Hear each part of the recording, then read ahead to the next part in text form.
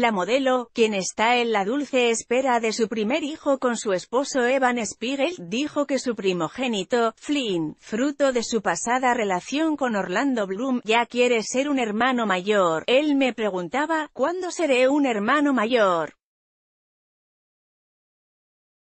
y le tenía que decir que primero teníamos que casarnos. El día después de la boda fue a donde ella y le dijo, ¿dónde está?